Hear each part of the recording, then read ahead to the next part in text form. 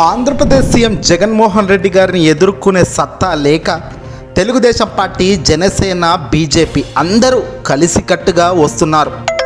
యుద్ధానికి ఒకవైపున జగన్ మరోవైపున ఈ ముగ్గురు. అందులో అతిపెద్ద కేంద్ర ప్రభుత్వం కూడా ఉండడం దారుణం. ఇదంతా ఎవరి కోసం? చంద్రబాబు నాయుడు గారు ఆడుతున్న ఈ జగన్ నాటకంలో అసలు కీలకమైన అంశాలు ఇప్పుడు వెలుగులోకి వచ్చాయి.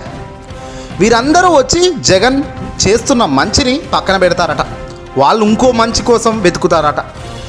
ప్రజలను మోసం చేయడానికి ఇదిగో ఈ కూటమి తయారైంది.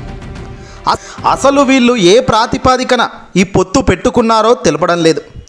ప్రత్యేక హోదా తదుపరి విభజన హామీలు అన్నీ అప్రస్తుతమని ఆయన వ్యాఖ్యానించడం తాజాగా రాష్ట్రంపై ఉన్న వాళ్ళకున్న శ్రద్ధ ఏంటో చెప్పకనే చెప్పాలి.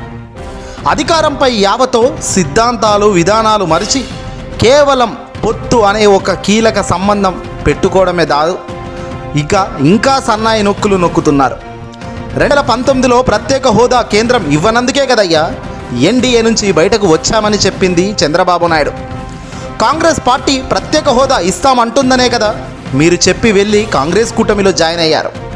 అయినా కాంగ్రెస్ వదిలి ఇప్పుడు బీజేపీని ఎందుకు పట్టుకున్నారు మళ్ళీ? కేవలం అధికార కాంక్ష కాకుండా మరేమవుతుంది? అసలు సమస్య ఇది కాదు వేరే ఉందంటున్నారంతా కూడా. చంద్రబాబు నాయుడు రాష్ట్రంలో ఒంటరిగా పోటీ చేసే చంద్రబాబు నాయుడు రాష్ట్రంలో ఒంటరిగా పోటీ చేస్తే తుక్కు తుక్కుగా దారుణంగా ఓడిపోతానన్న భయం ఆయనలో స్పష్టంగా అర్థమైపోయింది ఆయనకు. అందుకే ఆరు శాతం ఓట్లున్న జనసేన పార్టీని వెంటబెట్టుకొని పొత్తు పెట్టుకున్నారు. అక్కడితో ఆగకుండా కేంద్రంలో అధికారంలో ఉన్న బీజేపీని శరణ వేడుకున్నారు. ఒక్క శాతం ఓట్లు కూడా గత ఎన్నికల్లో తెచ్చుకోలేకపోయిన ఈ బీజేపీ పార్టీకి ఏకంగా ఇప్పుడు ఆరు ఎంపీ సీట్లు ఇవ్వడాన్ని ఆరు ఎంపీ సీట్లు ఇవ్వడానికి సిద్ధమయ్యారంటే తెలుస్తుంది చంద్రబాబుకు వీళ్ళ అవసరం ఎంతుందనేది. అంటే ఇక్కడ స్పష్టంగా బీజేపీని అడ్డం పెట్టుకొని తనపై ఎలాంటి కేసులు రాకుండా చూసుకోవడానికే క్లియర్గా చంద్రబాబు అడుగులు వేస్తున్నారన్న సంగతి తాటతెల్లమైపోయింది. ఆదాయ పన్ను శాఖ ఇప్పటికే పంపిన నోటీసులు తన మెడపై చుట్టుకొని వేలాడుతున్నాయి. సిబిటిడి ప్రకటించిన రెండు వేల కోట్ల రూపాయల అక్రమ భయం చంద్రబాబు మెడకు వెంటాడుతూనే ఉంది.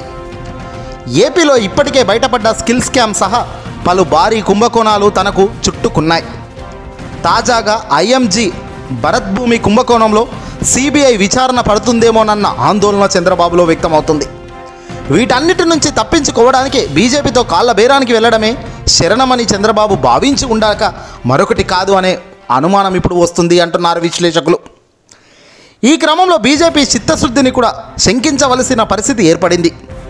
ఈ నేపథ్యంలో ఈ ఉదాంతం అంతటిని పరిశీలిస్తే టీడీపీ జనసేన బీజేపీల పొత్తు కేవలం రాజకీయ ప్రయోజనంతో పాటు కేవలం వ్యక్తిగతంగా కేసుల నుంచి బయటపడటం కోసమే అన్నది క్లియర్గా తెలుస్తుంది.